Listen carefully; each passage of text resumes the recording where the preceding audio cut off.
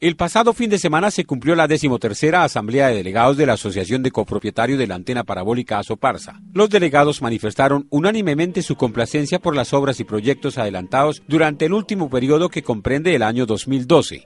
Estas fueron sus reflexiones. Es muy positivo, porque se han hecho muchas cosas con mucha transparencia, con muchas ganas de trabajar a la empresa, eh, con todos los compañeros se ha hecho mucho esfuerzo, se ha trabajado prácticamente pues con la colaboración de todos los angileños y con el equipo de trabajo aquí a Soparsa de San Gil.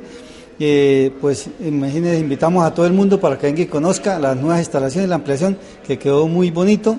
Las directivas en el orden administrativo dejaron para la opinión pública esta evaluación. Un año después, pues es grato decirle a la comunidad sangileña y a nuestros asociados que esta obra ya se ha llevado a feliz, término y pues que ha sido un esfuerzo tanto de nuestros asociados como de la organización para poder eh, brindarle una mejor calidad de televisión y mejores servicios a nuestros copropietarios. Asoparsa Telesangil en los últimos años ha tenido un auge, un crecimiento extraordinario que todos los angileños debemos eh, disfrutar, compartir y fortalecer. Retos a corto y largo plazo también fueron motivo de estudio y reflexión. Para este año pues empezamos a hacer el proceso de, digitalización de nuestra cabecera. Eh, es necesario ya empezar a ofrecer servicios de televisión digital y estamos eh, en esa tarea para este año. Sobre las inversiones por valor de 383 millones se centraron en los renglones de la construcción, dotación de equipos y redes para la distribución de la señal.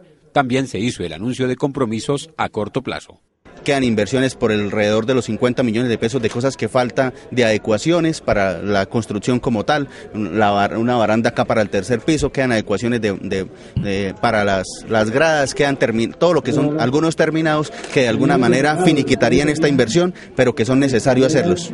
El presidente de Asoparsa Telesangil, Jorge Álvarez, califica la asamblea como una reunión exitosa por la participación y resultados de los informes. Fue una asamblea muy ágil, eh, donde se presentaron los informes correspondientes a la gestión realizada durante el año 2012-2013, los informes financieros, el presupuesto de inversión de la utilidad, y fue una asamblea realmente ágil, rápida y con el apoyo de todos los delegados de la empresa.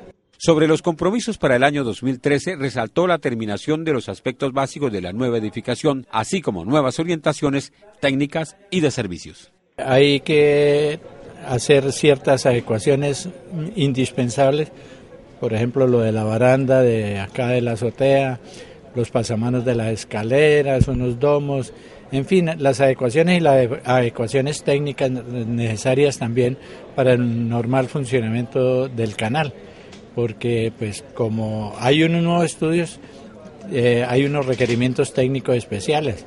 Estamos en el proceso de la digitalización de nuestra televisión, también vamos a comenzar ya próximamente a ofrecer los servicios de la televisión digital y algunos canales en alta definición.